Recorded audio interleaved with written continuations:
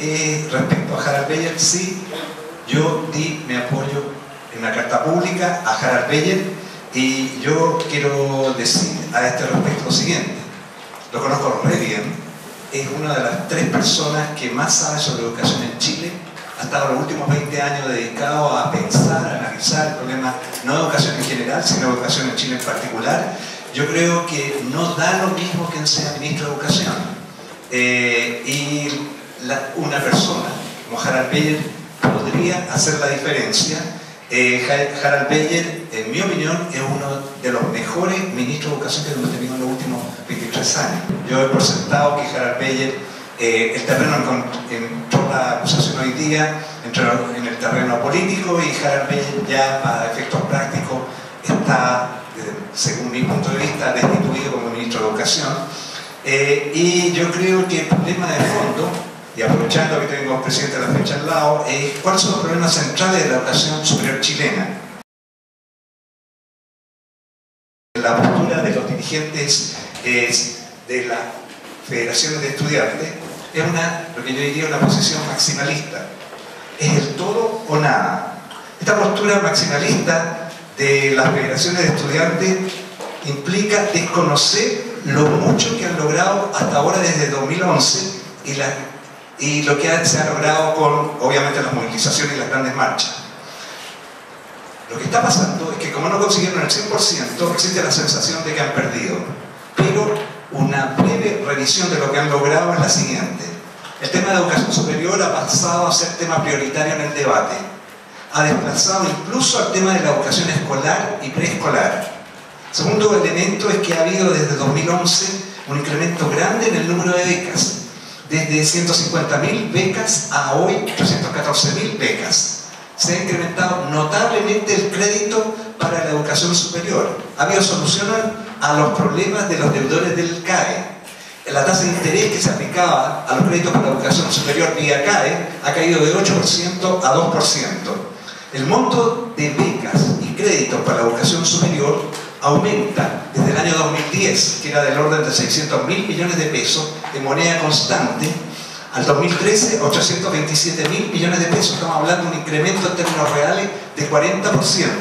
Lo que hemos hecho es que la educación superior, dentro del ítem de educación en el presupuesto fiscal del país, ha aumentado 5 puntos porcentuales, lo que llegando al 19%, lo que implica claramente que ha tenido o ha alcanzado bastante prioridad. Tercer elemento es esta reforma tributaria, cierto, una reforma tributaria marginal que logra recaudar en el flujo 1.200 millones de dólares en el 2012, la reforma que se hace, pero aquí lo que hay que destacar es que esto lo hizo un gobierno de derecha, que en su agenda no tiene reformas tributarias para aumentar los impuestos, sino que su agenda se caracteriza por tratar de hacer reformas tributarias para reducir impuestos y aquí se subieron los impuestos. Cuarto indicador, que seguramente es el que más a ustedes les gusta, es que ustedes, los movimientos estudiantiles, han votado a tres ministros de educación de este gobierno, incluye a Harald Beyer en la lista. Eh, y ustedes mismos, con esta postura maximalista, del todo o nada, no se dan cuenta de lo que han logrado. ¿Cómo diablos se incrementa la calidad en la educación superior, en la educación en general? ¿Y ustedes creen de que transformar una universidad privada en una universidad pública automáticamente aumenta la calidad? Si la Universidad del Mar se convirtiera en una universidad pública, ¿aumenta la calidad? ¿Cómo pasa eso? ¿Y por qué? Supongamos, por otro lado, que se elimina totalmente el lucro. Supongamos que tenemos una superintendencia de educación superior con un superintendente que fiscaliza a fondo el lucro y no hay lucro. Implica eso que la calidad de la educación de las universidades chilenas va a aumentar, que vamos a estar entre las 100 primeras. ¿Cuál es el mecanismo que genera eso? ¿Ok? Eh, la verdad es que se habla mucho de calidad, pero no tenemos idea de cómo medir y no he escuchado ni del gobierno, ni de expertos, ni de los dirigentes estudiantiles la sugerencia respecto a cómo hacer. La CNA es importante, eh, la Superintendencia de Educación Superior, la Agencia de Calidad, Y Harald Beyer estaba empujando la creación de esta institucionalidad. Yo discrepo de sus propuestas específicas, pero por lo menos existía la posibilidad de discutir. Había algo sobre la mesa. El actual ministro de Educación lo primero que va a hacer es hacer desaparecer el tema de la institucionalidad de la mesa. Universidad pública y universidad privada, solo universidades públicas, universidades que hacen investigación versus universidades docentes, yo estoy por que existan universidades docentes de buena calidad y que no hagan investigación. En Estados Unidos hay 4.000 universidades, de las 4.000 solo 100 hacen investigación, 2,5% del total, y el resto hace buena docencia porque al final del día, 95% de los egresados de las universidades se trata que sean buenos profesionales y eso es lo que queremos. Las universidades de todo tipo que tratan de montar equipos de investigación sin tener una masa crítica mínima, están perdiendo plata, están perdiendo recursos y no están haciendo bien lo que deberían hacer.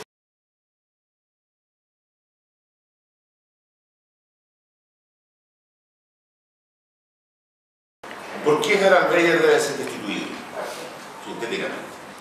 La primera, y en mi opinión suficiente condición es que mintió. Muy bien, por si no somos más De nuevo, por si acaso no escucharon. Gerald Breyer mintió. Eh, ¿Por qué digo esto? Porque tengo pruebas. El 14 de junio, a nombre de la CNA, y por encargo de la le envió a, a Beller dos denuncias concretas de lucro a Santo Tomás y a la Unidad. El 19 de junio, cuando se estaba hablando en la Cámara de Diputados, en la comisión que estudiaba el, el informe, Beller declara, por recuerdo de prensa, que no había recibido ninguna denuncia concreta sobre el lucro. Mintió. ¿Por qué mintió? Como le gusta usar la palabra politiquería, por politiquería. Mintió porque se reconocía que habían denuncias concretas sobre el lucro, validaba el informe de lucro de la Cámara. ¿Cuál es el riesgo para él de que se hubiese aprobado el informe en la Cámara? Si se hubiese aprobado el informe en la Cámara, un poder del Estado le estaba diciendo nosotros consideramos que hay lucro y se había visto obligado a investigarse. Y lo último que quería Beyer era investigar sobre el lucro. Como se lo voy a mostrar en el Pero no mintió solo ahí. El 10 de julio volvió a mentir. Diciendo, no tengo antecedentes. 14 de julio volvió a mentir. Y esta vez, a propósito que se votaba en, el plenario de la Cámara de Diputados el informe del lucro. Y el 2 de agosto volvió a mentir. Yo le he dicho en todos los tonos. Yo lo emplazo. Si yo estoy mintiendo, desmiéntame. O si quiere, demándeme. ¿Qué hace una persona honesta que la acusan de mentiroso? Demanda. No ha dado ninguna explicación respecto de esta mentira. Recién el 6 de agosto, cuando tuve que denunciar esta situación en la Cámara de Diputados, invitado por la Comisión de Educación, Beyer recobró la memoria y dijo, sí, tengo las acusaciones en mi poder. Yo creo que ahí terminaría todo el análisis respecto a esta situación. Desconozco las éticas morales de las demás personas que están aquí.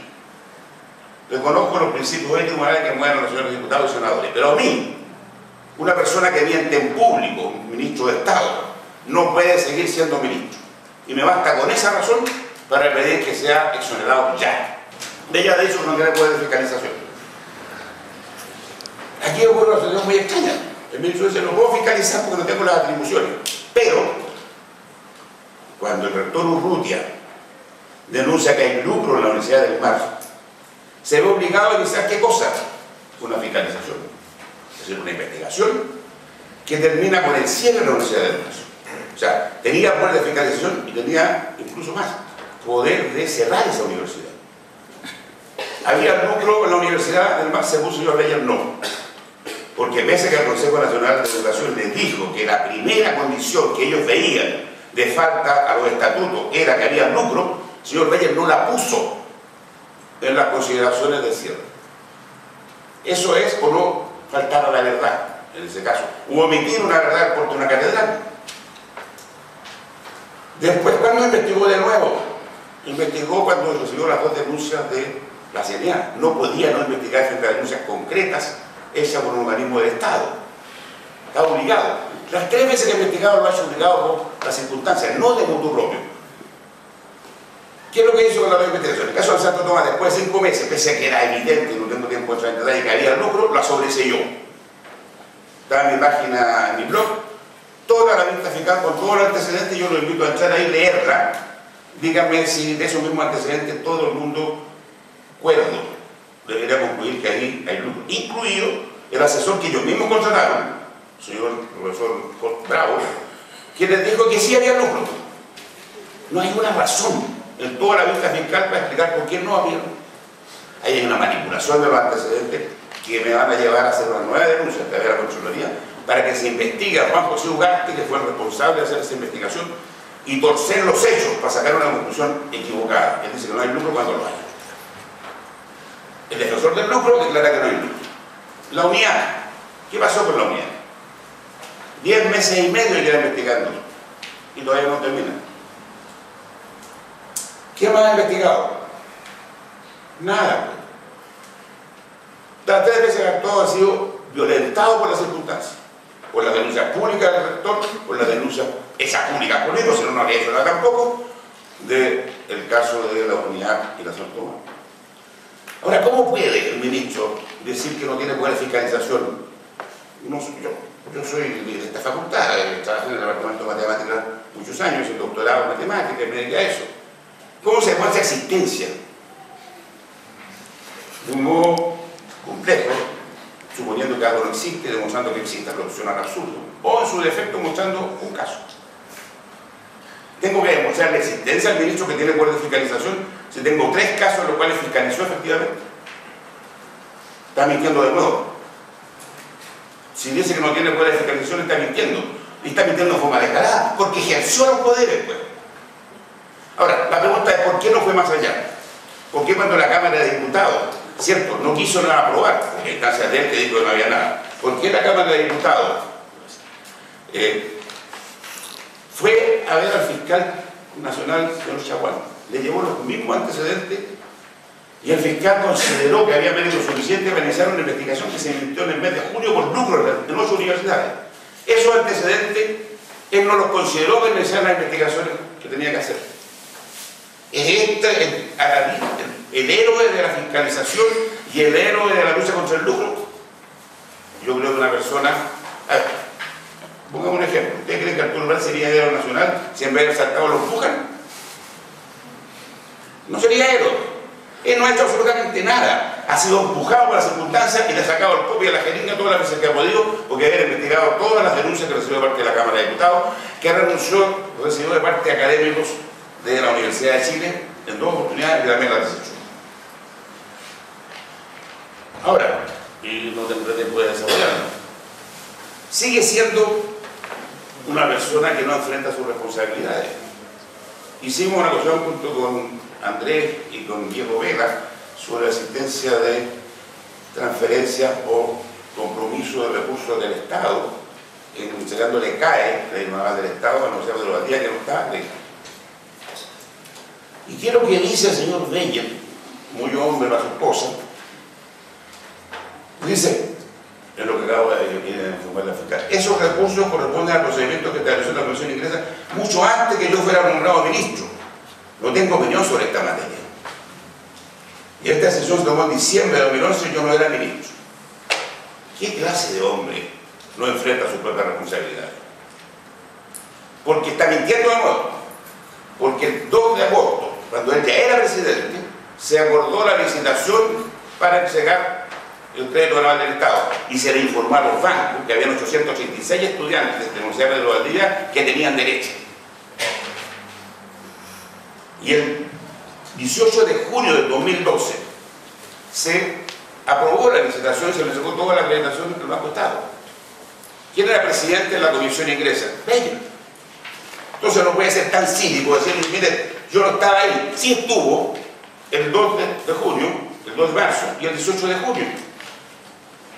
Yo creo que hay antecedentes más que suficientes respecto de la honestidad del señor Beyer que no le permita seguir en el cargo. Gracias.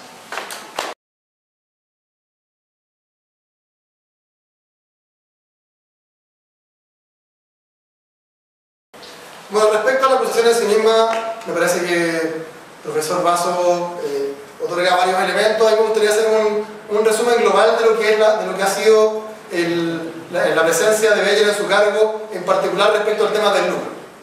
Cuando uno hace, insisto, un resumen global, una síntesis, uno se da cuenta que desde que recibió cuatro o cinco eh, denuncias concretas respecto al tema del lucro, las denuncias que hacía referencia Patricio, las denuncias de la Cámara de Diputados, el informe del Consejo Nacional de Educación, las denuncias que hicieron una, unas profesoras de la Facultad de Derecho de esta universidad, eh, antes incluso, y en, en todos los casos, la respuesta del ministro Beyer fue, no estoy seguro, no tengo antecedentes. Incluso en febrero de este año llegó a decir, no estoy seguro de que haya lucro en la Universidad Mar. O sea, a ese nivel de ridiculez y cuando ya el Consejo Nacional de Educación lo haya acreditado. En segundo lugar, la única acción supuestamente concreta que tanto se le valora fue el cierre de la Universidad del Mar. Sin embargo, eh, fue un cierre que fue totalmente improvisado, un cierre que eh, se ejerció en diciembre sin ningún plan para los estudiantes y el ministro Beyer logró el difícil desafío de dejar a los estudiantes de la Universidad del Mar incluso peor que lo que estaba en el año eh, 2012. Eh, la mayor parte de ellos hoy día no tiene dónde estudiar. Los que se reubicaron, en su inmensa mayoría lo hicieron por cuenta propia. Solamente un sexto de los estudiantes se ubicó por los planes del Ministerio. Los que se reubican mantienen la deuda que tenían con la Universidad del Mar y ahora tienen una nueva deuda, o sea, se les castiga doblemente. Y peor aún, nuevamente faltó la verdad, porque el día 10 de enero de este año el sitio web del Ministerio publicó que había convenios con 12 casas de estudio eh, por, transparencia se pidieron esos convenios, eh, transparencia dijo que no existían y eh, tuvo que, el subsecretario Fernando Rojas, cuando el ministro Bella no quiso ir a la comisión de la Cámara de Diputados, tuvo que reconocer que eran acuerdos verbales y que nunca hubo convenio de escrito.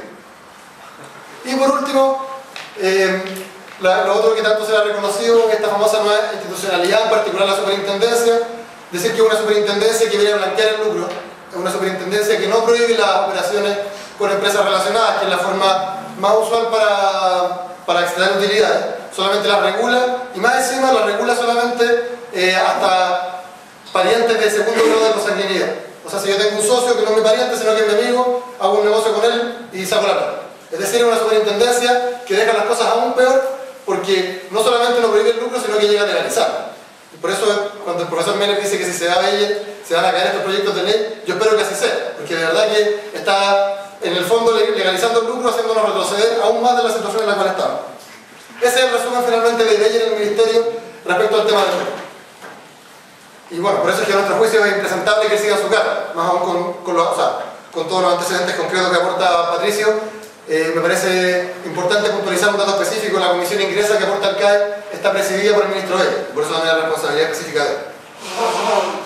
Ahora bien, ¿cuál es la relevancia política de la acusación constitucional eh, en, este, en, este, momento, después de, de, dos años de movilizaciones y a punto de partir un tercero que esperamos que lo veamos todos mañana en las calles y que sea un año aún más movilizado. En primer lugar, siento un precedente fundamental, que después de las movilizaciones que todos nosotros hemos protagonizado con nuestras familias, profesores, etc., es impresentable que haya un ministro que no tenga la valentía y la ideología de enfrentarse a quienes están lucrando para realmente prohibir el lucro. Porque se ha dicho mucho que Beyer no ha hecho menos que los ministros anteriores. Quizás es cierto. Igual creo que Beyer fue más, más lejos aún porque los ministros anteriores fueron pasivos y este ministro fue activo para esconder las denuncias concretas. Pero de todos modos, después de los años de movilizaciones, es más grave y se siente un precedente importantísimo cuando un ministro sigue haciéndose el loco frente al tema del lucro. Se sigue haciendo el largo. Porque, en el fondo, porque ya es, ya es evidente para todo Chile que es un tema inaceptable. Y además de eso, también es, es, muy relevante porque se entiende que ya es impresentable que un ministro, con todos los pergaminos que posea, llegue a impulsar una agenda propia y siga desoyendo las demandas que han surgido de los estudiantes, pero con el apoyo del 80-90% de los chilenos. A mí me gusta decir que es un triunfo de la democracia por sobre la tecnocracia, porque el ministro Valle podrá tener muchos pergaminos, es cierto, un tipo que sabe mucho de educación, pero llega a impulsar una agenda que, está en la dirección totalmente opuesta de lo que hemos exigido en las calles la mayoría de los chilenos. Y eso es impresentable con las movilizaciones que hemos protagonizado. Y esa es la relevancia quizá política histórica más grande de esta posición constitucional, el precedente que sea. Es un contexto bien, bien rico, bien interesante, y por esto la marcha de mañana adquiere una importancia tan, tan, tan central. Porque por un lado, bueno, se hace evidente que para el gobierno, para la derecha, no, no tiene herramientas, no tiene voluntad de avanzar en las demandas que hemos levantado. Pero por otro lado tenemos una concertación que está plenamente confundida porque por un lado quiere hacerle guiño a los estudiantes, pero por otro lado se sigue vistiendo con el mismo ropaje que gobernó los últimos 25 años. La mejor demostración de, eso es que la expresidenta Bachelet llega un día prometiendo fin al lucro y gratuidad y una semana después tiene que echarse para atrás y decir que fin al lucro, pero con fondos públicos y gratuidad para algunos. Bueno, esa confusión en la cual está la concertación y la posición de la derecha vuelve a reflejar que, hay un escenario ideal para que los estudiantes volvamos a retomar la ofensiva y, y volvamos a elaborar nuestras banderas con más fuerza que nunca. Dejar clarísimo cuál es el proyecto país que queremos, cuál es el proyecto de educación que queremos y justamente que no vamos a permitir, menos aún en un año electoral, que nadie venga a reinterpretar esas demandas por nosotros y traducirlas a un lenguaje que finalmente es el mismo lenguaje que gobernó los últimos 25 años, que es un lenguaje neoliberal, que es un lenguaje que dice que los derechos sociales pueden ser sujetos a negocio. ¿A qué me refiero con esto? Por un lado, es yo, de, la, de, las cosas que el profesor Meller reconoce que hemos avanzado, es evidente que si hoy día el lucro, la gratuidad, la educación están en el corazón del debate, es gracias a nuestra movilización.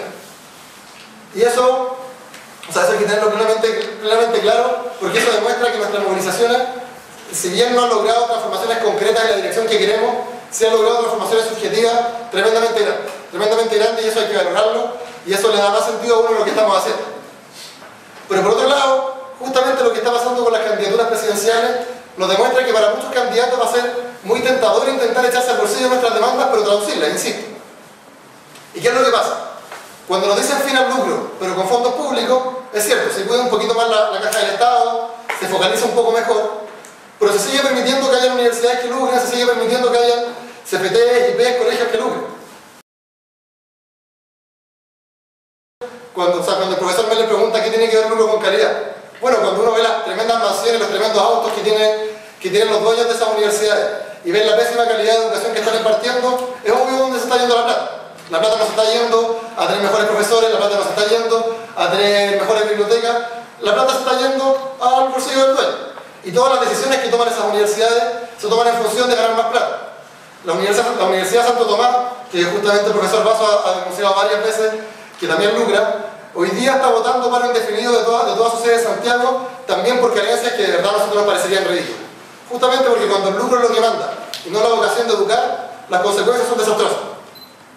Y ojo, o sea, cuando uno se pregunta eh, por qué, o sea, cuál es la lógica de decir que las universidades no hay lucro pero sí al resto del sistema educativo.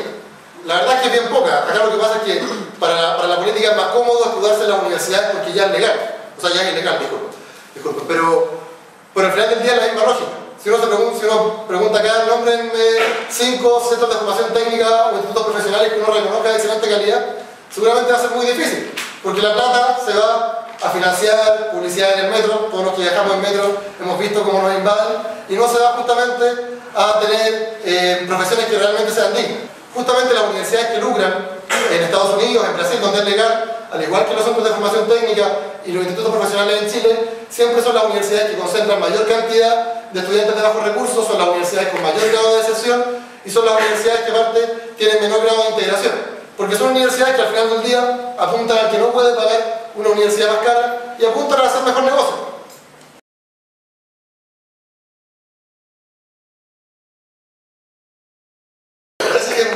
Muy decidora cuando el profesor Mérez nos dice que los argumentos contra la gratuidad son que tiene mal efecto redistributivo y la eficacia en el uso del gasto y dice, no tiene ningún sentido económico.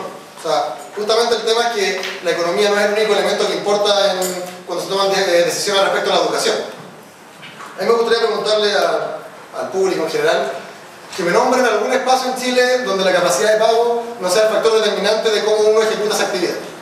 Desde ir a un concierto hasta cómo uno se mueve por las calles, en todas partes lo que más importa es la capacidad de pago.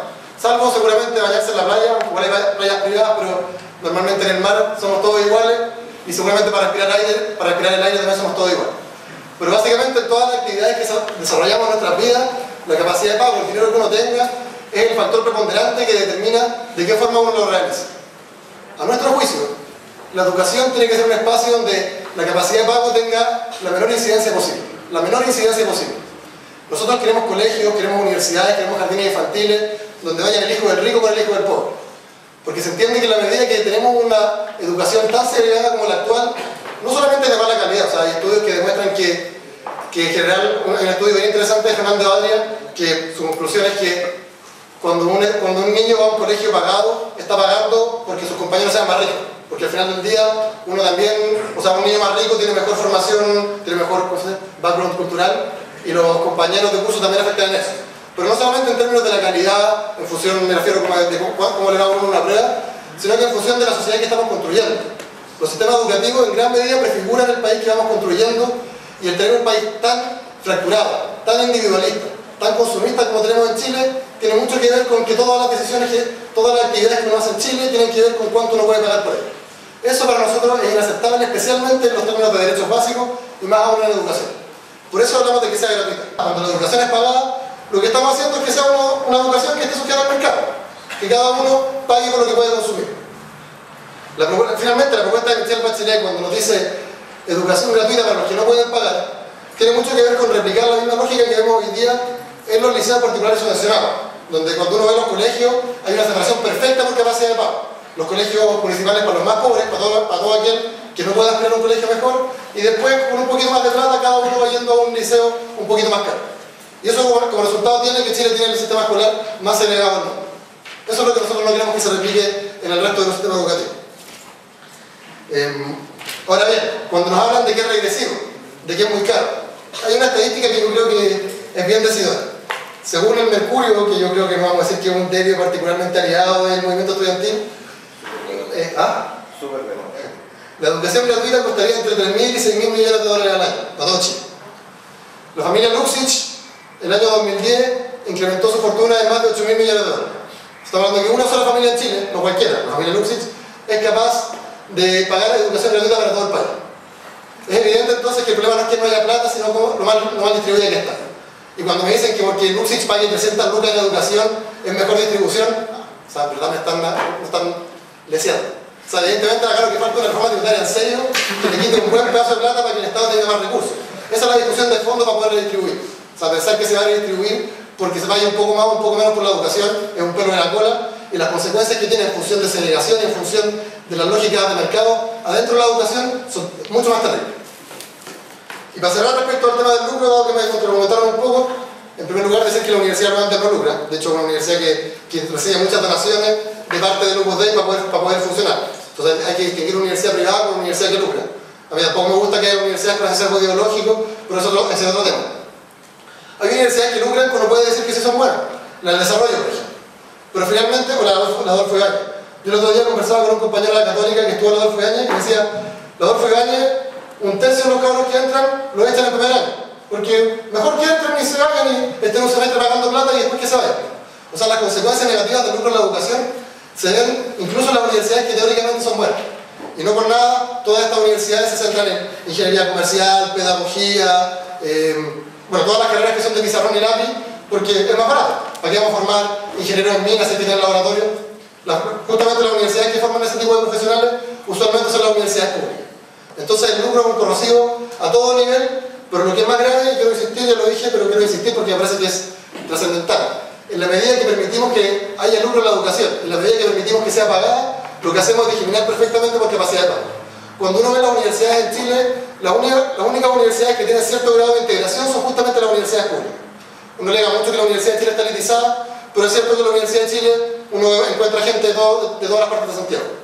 Cuando uno, vea, cuando uno va a la Universidad del Mar, la Santo Tomás o la América, ve solamente cabros que son de, eh, más vulnerables, más pobres. Cuando uno va al desarrollo, no al Ibáñez o el Andes, ve todos cabros que son los más ricos. Nosotros lo que queremos son universidades donde la gente se integre, lo que queremos es que haya un país donde finalmente pueda haber diálogo entre personas de distintas clases sociales. No hay ninguna parte en Chile donde eso exista y en la educación eso tiene que pasar. Eso. Muchas gracias.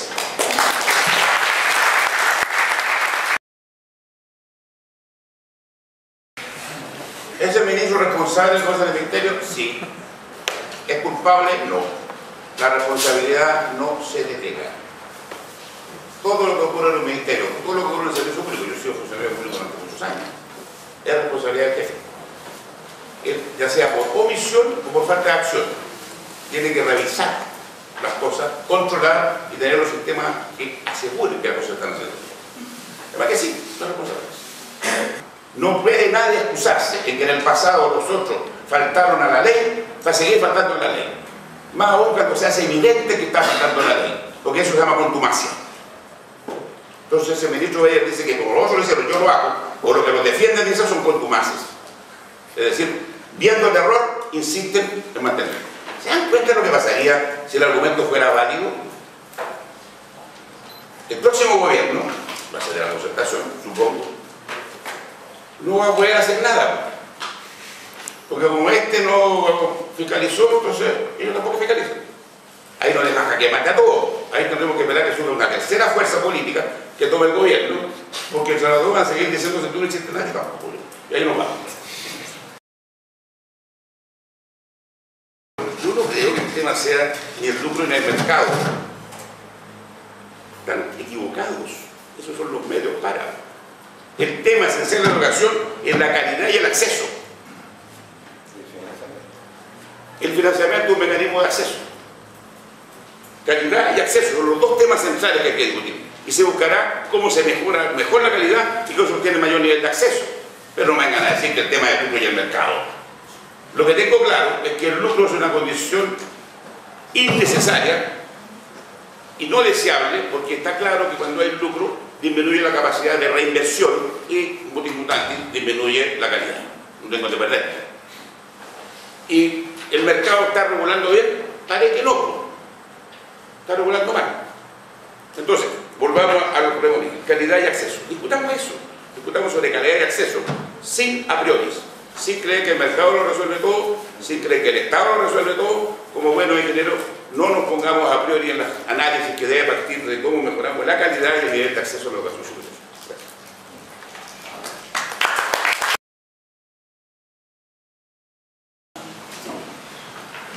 Vamos de vuelta a la gratuidad. Eh, vamos de vuelta a la gratuidad porque yo creo eh, que aquí la respuesta que está dando Andrés eh, no explica la cuestión de fondo respecto a la gratuidad. Eh, él plantea que capacidad de pago incide en la posibilidad de realizar actividades. Aquí lo que yo te estaba diciendo, lo que tiene capacidad de pago, para pagar lo que cuesta la universidad, tú estás planteando de que estás eliminando la posibilidad de que lo hagan. Tienen la capacidad para pagar, pero tú dices no paguen. ¿Ok? Eh, y luego plantea un problema que es de fondo, que efectivamente nuestro sistema escolar, más que el universitario, está segmentado. Eh, y aquí yo quiero hacer una pregunta bien directa, a todos ustedes y a Andrés también. O sea, ¿ustedes creen de que porque todo pasa a ser gratuito, vamos a acabar con la segmentación? Vamos a tener esta mezcla entre grupos de, entre los hijos de los grupos de alto ingreso y los hijos de los grupos de bajo ingreso, que la gente de la dehesa se va a juntar en un colegio con la gente de la ventana y viceversa. O sea, okay, o sea, estoy tratando de hacerles ver el non sequitur. Esto no es lógico, no es lógico el planteamiento y la solución tampoco va a resolver lo que se está planteando. ¿ok? Ahora, en todo esto hemos hablado poco de platas, de números. O sea, y aquí me voy a colgar de lo que dijo Andrés, de que Mercurio estima que la cifra. Oye, ustedes pueden hacer cálculo también de cuántas son las cifras, de qué es lo que vale educación superior gratuita. Un millón de estudiantes en educación superior, en que en promedio estén pagando 2.500, 2 millones y medio de pesos al año, estoy dando una tasa eh, promedio, y suponiendo el dólar de 500 pesos son 5 mil dólares, 5 mil dólares por un millón son 5 mil millones de dólares. Anual, flujo anual. Entonces Andrés dice, oye, fíjate, la familia Lucy alcanza a financiar con el ingreso que, la ganancia de ingreso que tuvo un año, el flujo de un año. Pero estamos, estamos hablando de aquí para adelante. Ahora, estamos hablando de la educación superior. La educación superior es un quinto del costo total de la educación total de lo que se está destinando. Entonces, lo que estamos hablando aquí, toda la educación superior, el costo, estamos hablando, multipliquen por 4, 20% para llegar a números que esta economía, esta sociedad no está en condiciones de hacerlo ni con todas las reformas tributarias del mundo. Yo estoy de acuerdo que haya reformas tributarias, pero eh, para financiar lo que sea financiable. Eh, respecto a los CFT estatales, yo creo que este problema de fondo, con la calidad, reitero, no tiene que ver si es estatal o privado. Tiene que hacer bien la pega. Y yo creo que hay dos CFT que están haciendo muy bien la pega, que es el TUOP y el INACAP. Tengo dudas respecto a la mayoría de los otros CFT. ¿ok? Entonces, ¿va un CFT estatal a hacerlo mejor que el TUOP o que INACAP? Y ahí tengo dudas, porque habiendo visitado Do, INACAP, y habiendo visto lo que hacen, y cómo hacen lo que hacen, y cómo definen el currículum, y cómo cada ramo que cursan está definido dentro del currículum, se sabe por qué los ramos están ahí dentro del currículum. Que es la duda que yo tengo aquí en esta facultad, son tan buenos, que a veces, ¿por qué estos ramos están dentro del currículum? ¿Y por qué están en la secuencia en la cual están? Y ellos han hecho esa pega porque hacen algo que nosotros en la universidad no somos tan conscientes que el día de mañana sus egresados van a entrar al mercado del trabajo y tienen que encontrar pega y tienen que irles bien, porque en eso va la imagen del CPT. Nosotros, o sea, la docencia está condicionada por la demanda laboral. Nosotros en la universidad, la docencia está condicionada por la oferta que metemos nosotros los profesores dentro del currículum. ¿Por qué enseñamos lo que enseñamos? O sea, alguien me va a venir a mí a decir cómo tengo que enseñar un curso de análisis de la economía global. ¿Hay algún profe en esta escuela que me pueda dar alguna sugerencia que yo ya no la haya pensado? Así pensamos todos los profes respecto al curso que hacemos. Y por eso definimos qué es lo que enseñamos y lo que enseñamos está acorde a qué es lo que nosotros creemos oferta propia respecto a cómo enseñamos lo que enseñamos. CFT estatal, por cierto. Los CFT no tienen, estatal no puede ser más. Es más, sería muy bueno que a lo largo de todo Chile y en todas las ciudades hubiera un CFT estatal de gran calidad, porque le la vara a los CFT rasca y que tendría a desaparecer por sí mismo.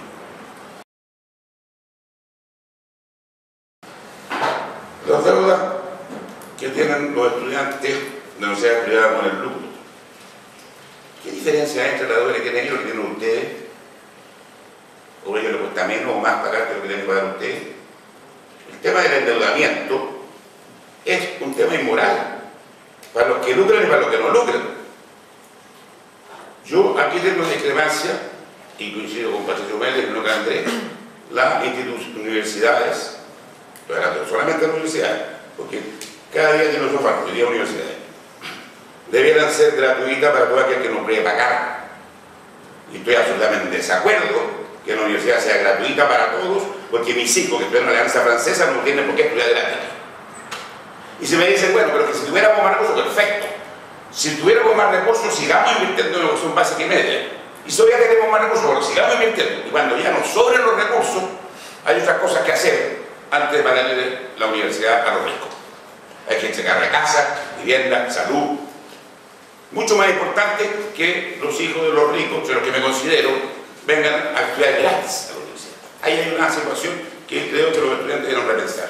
Es una mala bandera, no tienen el apoyo de la ciudadanía y partiendo por mí no los apoyo en ese tema. Y si la bandera es salir a marchar por la gratuidad, no marcho. Porque nunca me gusta ser populista. Pues eso sí, estoy de acuerdo, claro. No estoy de acuerdo con la gratuidad. Solo gratuidad para los que no pueden pagar. De ahí que los aranceles diferenciados, que nunca se han aplicado en este país, son la solución. Pero aranceles diferenciados. Me paso el tema de los costos, pero hace de que con los costos. Tiene razón, eso. Todos los costos de los sistemas universitarios están 10 veces más altos que la realidad. Yo fui vicerrector de Administración y Finanzas de la universidad. Sé cuánto cuesta la docencia. No se puede cobrar lo que se cobra en Derecho, y Psicología, en Economía, ni siquiera en Industria. Los aranceles se están pagando, es una locura. ¿Por qué se van a aranceles tan altos? en el caso de las universidades estatales, porque el Estado no cumple con su tarea de financiar la investigación y los equipamientos necesarios para ello. ¿Qué pasaría si consideramos que el costo de la docencia fuera marginal? Tenemos instalada una universidad de investigación y a continuación utilizamos esa capacidad de las otras para hacer clases. ¿Cuánto costaría efectivamente si el Estado financiara lo primero? ¿Cuánto costaría las carreras? La décima parte de lo Desde el punto de vista del Estado, los estudiantes están financiando la investigación y los sueldos de los investigadores. Y eso lo es inequitativo. Desde el punto de vista de la universidad privada, ¿qué están financiando si no tienen investigación? La capitalización. Pues. Todos los edificios que se han construido en los últimos 10 años o 20 años salen de los bolsillos de los estudiantes. Tanto ustedes pueden, edificio, patrimonio. La Universidad Santo Tomás, de las cosas que decía con un gran beneficio de esto de prestarse plata sin intereses, es que habían subido a 96 mil millones las reservas. ¿Qué significa eso? Que le robaron 96 mil millones a los estudiantes de más, pues, porque el costo de la educación no es es mucho más bajo. Por un lado, cuando nos dicen, o sea, cuando el profesor se refiere al argumento de Luxich, me parece que es bastante evidente que cuando dice este ingreso de Luxich en un año y esto, esto es lo que cuesta la educación gratuita en un año, lo que uno se da cuenta es que efectivamente hay unas pocas familias que tienen ingresos suficientes año a año para poder pagar, o sea que los, los, los recursos están cuando nos dicen que es infinanciable, cosa de Argentina y Uruguay, que son países que no son particularmente más ricos que Chile, donde la educación sigue gratuita y de hecho con acceso libre, y, o sea, con mucho más estudiantes que en Chile, y, y es gratuito. Así que no es que sea infinanciable.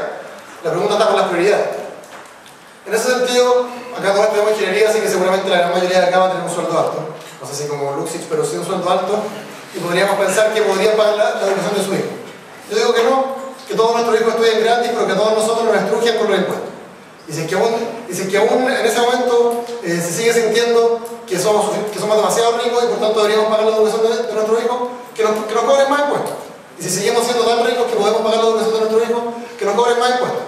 Pero al final del día, cuando el cobro es directamente por la educación y no, en, y no en forma de impuestos, lo que estamos haciendo es que la educación sea concebida como un bien individual, que sea concebida como un bien de consumo, como bien dijo el presidente Piñera, y más aún, que, que el poder de pago sea una, un, una forma de limitar el acceso a la universidad. Eh, yo estoy de acuerdo que la gratuidad no resuelve todos los problemas del mundo, yo no escuchaba a nadie decir eso. Eh, lo que para mí es un error lógico es suponer que porque no resuelve todos los problemas del mundo, entonces es una mala política. Que básicamente lo que decía el profesor Mérez, que con gratuidad no se resuelven todos los problemas de segregación, entonces no, no tengamos gratuidad. No, pero es evidente que el poder de pago siempre ha sido una de las mejores formas de segmentar y de segregar. Cuando uno va a un concierto está la cancha VIP, está la cancha menos VIP, platea y lucha. A mí no me gusta mucho que, que la cancha la digan en dos, pero, la, pero el poder de pago segmenta perfectamente entre quienes pueden pagar 100 lucas y quienes pueden pagar 10 lucas. Cuando uno se compra un chocolate también, o en todas las cosas donde hay poder de pago, esa es segmentación perfecta. A nuestro juicio eso en la educación no puede pasar. Más aún, cuando la educación es pagada, lo que ocurre es que, el, es que el dinero pasa a ser un factor en todas las decisiones, así como nosotros decimos, de que cuando hay lucro en la institución, entonces cada decisión que toma la universidad, el colegio, está en función de maximizar utilidades, cuando el dinero no pasa a ser un factor, lo mismo. Yo quiero citar lo que pasó en el Gorbea el año 2011, hicimos una asamblea triestamental, para los que están el tercer año para arriba seguramente van a acordar. Y el profesor Chornich dijo, el profesor de electromagnetismo, para los que no lo conozcan, dijo, yo hace, he hecho que es más o menos conocido ser un profesor muy difícil. Y él dijo, yo hace 20 años hacía este mucho más difícil que ahora. Pero para mí es inmoral saber que estoy reprobando estudiantes y que por culpa de eso van a tener que endeudarse en 4 millones más de pesos. Evidentemente acá el tema no es la especificidad de la dificultad del ramo, sino entender cómo cada vez que la plata es un factor, eh, termina, eh, termina influenciando incluso las decisiones más pequeñas sin que nos demos cuenta. Yo también hago una pregunta abierta, es que en esta universidad convivieran el 90% de los estudiantes fueran becados y el 10% paga. ¿Sería el mismo trato el que, da, la universidad al estudiante que paga chin y que por tanto es plata que llega muy fácil, que el que llega con plata del Estado y por tanto se demora mucho más? Nuevamente parecería ser una minucia. Pero lo que es relevante es darse cuenta de que cuando la plata es un factor, eso afecta en cada decisión que toma la institución. Y a nuestro juicio, en la educación, eso no puede ser así. En muchas cosas se quieren que sea así, en la educación. Ahí. Por eso es que la educación tiene que ser gratuita y que haya mucho menos.